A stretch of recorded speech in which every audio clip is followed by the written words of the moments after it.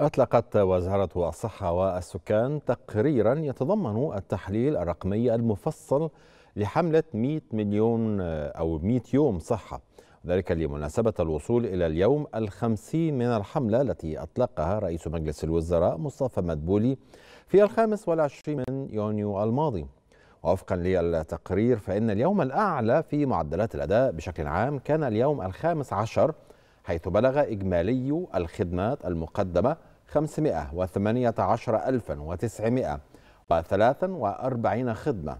وكشف التقرير أيضا عن أن مبادرة الرئيس عبد الفتاح السيسي لدعم صحة المرأة حققت أعلى معدلاتها في الزيارات الأولى والدورية في اليوم السابع عشر بتحقيق أكثر من 15 ألف زيارة أولى و38 ألف زيارة دورية.